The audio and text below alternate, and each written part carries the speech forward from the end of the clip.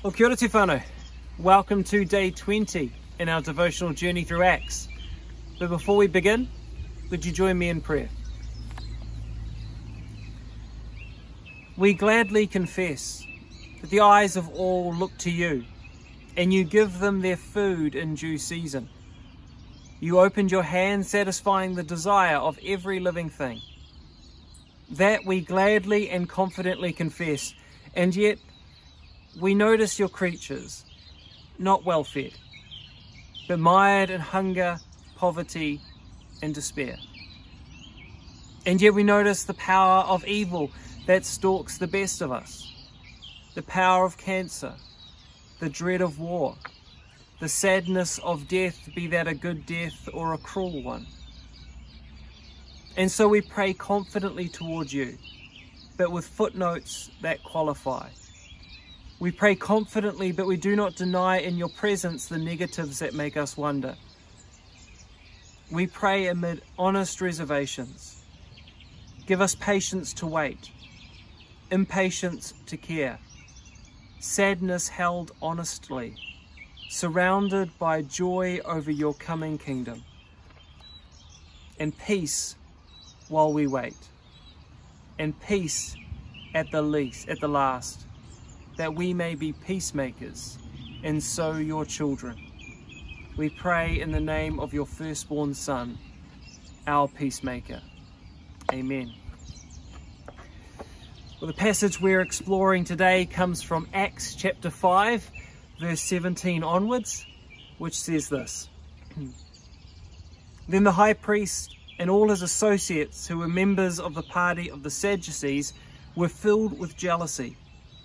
They arrested the apostles and put them in the public jail. But during the night, an angel of the Lord opened the doors of the jail and brought them out. Go stand in the temple courts, he said. Tell the people about this new life. At daybreak, they entered the temple courts as they had been told and began to teach the people. When the high priest and his associates arrived, they called together the Sanhedrin, the full assembly of the elders of Israel, and sent to the jail for the apostles. But on arriving at the jail, the officers did not find them there. So they went back and reported, We found the jail securely locked, with the guards standing at the doors, but when we opened them, we found no one inside. On hearing the report, the captain of the temple guard and the chief priests were at a loss, wondering what this might lead to. Then someone came and said, Look, the men you put in jail are standing in the temple courts teaching the people. At that, the captain went with his officers and brought the apostles. They did not use force because they feared that the people would stone them. You know, when preparing for this reflection, I, I had to laugh when I was reading a commentary on this passage because in that commentary, the scholar talked about how at this time everyone seemed to struggle to know what to call this new Jesus movement that we're reading about in the book of Acts. Because it isn't actually until Acts chapter 11 that anyone begins calling this group Christians, meaning Messiah people. And this confusion around what to call this new movement well, one scholar suggested that it wasn't just the people who at the time who were struggling, but seemingly that the angels were a bit unsure too. Because in this passage we have the only time where this movement is called this life. Nowhere else is it called that. And it was described this way by the angel who freed the apostles from prison. You can almost imagine the angel's thought process, can't you?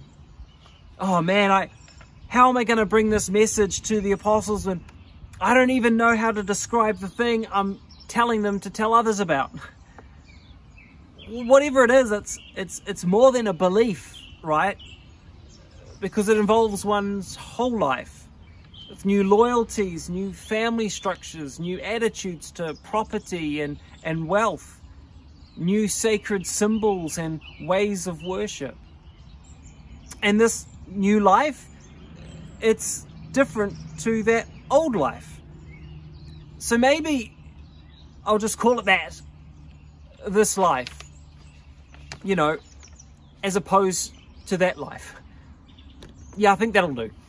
I'll just call it this life.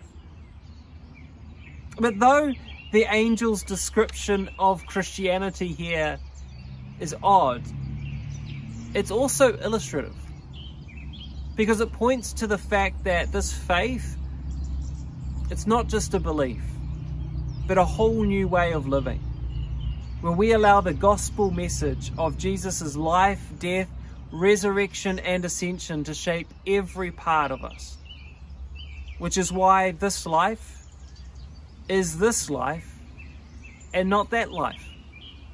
It requires us to fully leave the old so that we can fully embrace the new. And this all raises the question, doesn't it? Are there ways in which you haven't fully embraced this new life in Christ? Are there ways in which you're trying to live astride that life and this life. Trying to have a foot in both camps and just being left feeling dissatisfied as a result.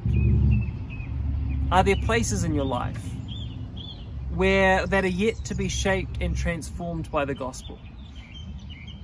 If so, then why don't you try doing something different? Pray an honest prayer and have an honest conversation. Bring it to God and seek the help and support of others so that you can experience the prison breaking freedom that is found in this new life in Christ.